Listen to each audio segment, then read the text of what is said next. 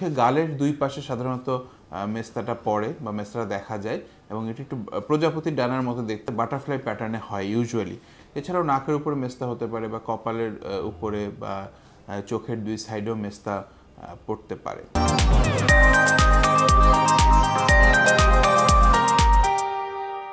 আমরা যে অসুখটা নিয়ে কথা বলব বা যে স্কিন ডিজিজটা নিয়ে ডিসঅর্ডারটা নিয়ে কথা বলব, সেটাকে বাংলায় বলা হয় মেচতা আর ইংরেজিতে এটাকে আমরা বলি মেলাজমা বা কলাজমা। তো এটি খুব সাধারণ একটা চর্মরোগ যেটা খুব মানে প্রচলিত দেখা যায় বা খুব সচরাচর এটা দেখা যায়। বিশেষ করে এটা মহিলাদের বেশি দেখা যায়। হ্যাঁ, পুরুষ এবং মহিলার রেশিও হচ্ছে ওয়ান ইস টু ফোর মানে চারজন মহিলার হলে একজন পুরুষ হয় রেশিওটা এরকম। তো মেস্তা আমরা সাধারণত দেখি সান এক্সপোজড এরিয়াগুলোতে বেশি হয়। মানে যে জায়গায় সূর্যালোক বা হিট বেশি লাগে। হ্যাঁ তার মধ্যে খুবই কমন হচ্ছে মুখে। তো মুখে গালের দুই পাশে সাধারণত মেস্তাটা পড়ে বা মেস্তাটা দেখা যায় এবং এটি একটু প্রজাপতির ডানার মতো দেখতে বাটারফ্লাই প্যাটার্নে হয় ইউজুয়ালি এছাড়াও নাকের উপরে মেস্তা হতে পারে বা কপালের উপরে বা চোখের দুই সাইডেও মেস্তা পড়তে পারে। তো মেস্তা সাধারণত আমরা দেখেই ডায়াগনোসিস করি যারা চর্মরোগ বিশেষজ্ঞ আছেন। এছাড়াও মেস্তার জন্য কনফার্মেটরি টেস্ট করা হয়, সেটাকে বলা হয় উডস ল্যাম্প এক্সামিনেশন তো উডস ল্যাম্প এক্সামিনেশন হলে আমরা কিছু কালার চেঞ্জ দেখে এটি হান্ড্রেড পার্সেন্ট শিওর হই যে এটি হচ্ছে মেস্তা বা মেলাসমা। এখন মেলাসমার হচ্ছে তিনটা টাইপ আছে, যেমন এপিডার্মাল ডার্মাল এবং মিক্সড তো সহজে বলতে গেলে এপিডার্মাল মানে হচ্ছে স্কিনের একদম উপরের অংশে মিক্সড মানে মাঝামাঝি এবং ডার্মাল মানে হচ্ছে একটু ভিতরের দিকে। তো যেটি ভিতরের দিকে সেটি ট্রিটমেন্ট করা সাধারণত একটু ডিফিকাল্ট বাট এপিডার্মাল যেটা বা উপরের দিকে যেটা, সেটা ট্রিটমেন্ট করাটা কম্পারেটিভলি বা অপেক্ষাকৃত অনেক সহজ।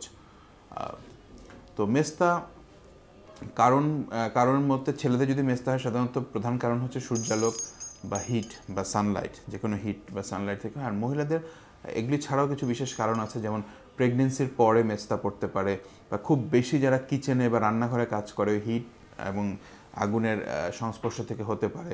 এছাড়াও জন্ম নিয়ন্ত্রণ বড়ি বা ওরাল কন্ট্রাসেপটিভ পিল থেকে মেস্তা হতে পারে।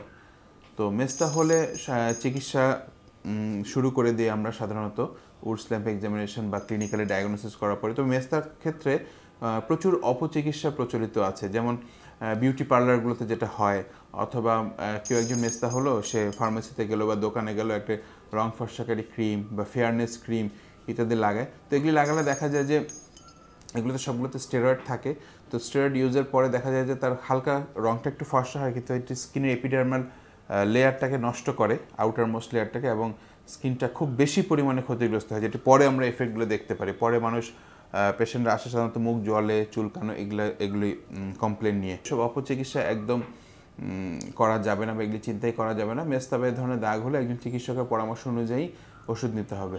যেমন মেস্তার ওষুধ যথাযথ ব্যবহারের কিছু রিস্ক থাকে। যেমন মেস্তার অনেক ওষুধ আছে যেগুলো আমরা প্রেগনেন্ট মহিলাদের দিতে পারি না, বা যেগুলি দিনের আলোতে দিতে পারি না। তো এইসব ক্ষেত্রে শুধু একদম চর্মরোগ বিশেষজ্ঞ পারেন সঠিকভাবে জিনিসটাকে প্রেসক্রাইব করে এটি চিকিৎসা করতে। তো মেস্তায় সাধারণত আমরা টপিক্যাল বা মুখে লাগানোর ওষুধ দিয়ে থাকি। সেক্ষেত্রে সবচেয়ে কমন হচ্ছে হাইড্রোকুইনন যেটি ডিমেলানাইজিং এজেন্ট মানে মেলানিন প্রোডাকশনটাকে যেটি বন্ধ করে বা কমিয়ে যেটা করে ডিমেলানাইজিং এজেন্ট সেটি ব্যবহার করা হয় হাইড্রোকুইনন নামে। বিভিন্ন নামে বাজারে পাওয়া যায় বা মিক্স প্রিপারেশন পাওয়া যায়, যেটাকে বলা হয় ক্লিকবেন ফর্মুলা এছাড়াও আমরা মুখে খাওয়ার কিছু ওষুধ দেই যেমন হচ্ছে অ্যান্টিঅক্সিডেন্ট ভিটামিন পিকনোজেনল ইত্যাদি ওষুধ দেই। এখন রিসেন্ট অনেক ট্রিটমেন্ট আছে, যেমন ট্রেনিক্সেমিক অ্যাসিড দেওয়া হয়, যেটি সাধারণত ব্লিডিং বন্ধ করার জন্য দেওয়া হয়, কিন্তু আমরা সাধারণত মেস্তা ইউজ করি। এবং ইনজেক্টেবল ফর্মে পর্যন্ত ট্রেনিক্সেমিক অ্যাসিড এখন রেকমেন্ডেশন আছে ইউজ করার।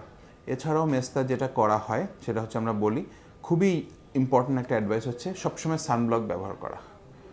একটা চিকিৎসককে দেখিয়ে sun protection factor thirty fifty বা সেভেন্টি পেশেন্ট অনুযায়ী সানব্লক ইউজ করা, যখন সে বের হবে বা কিচেনে যাবে সেসব ক্ষেত্রে।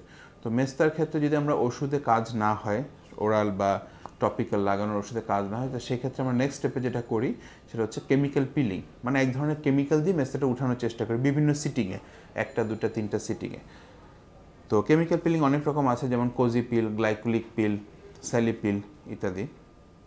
তবে মেস্তার ক্ষেত্রে লেজারের খুব একটা বেশি ভূমিকা নেই। অনেকে মনে করতে পারে লেজার করলে মেস্তা চলে যায় বা অনেক ধরনের লেজার আছে। তো লেজার অনেক স্কিন ডিজিজের ক্ষেত্রে আমরা ব্যবহার করে থাকি। তো মেস্তার ক্ষেত্রে লেজারের খুব বেশি পরিমাণ কোনো ভূমিকা নেই। এই জন্য অনেক পেশেন্ট বিভ্রান্ত হয় দেখি পেশেন্টের বা রোগীদের উদ্দেশ্যে কথাটা বলা। তো এই ক্ষেত্রে একটু ধৈর্য ধরতে হবে, চিকিৎসককে দেখিয়ে ঠিকমতো ওষুধ সেবন বা ব্যবহারের মাধ্যমে মেস্তা অনেকখানি নিরাময় সম্ভব।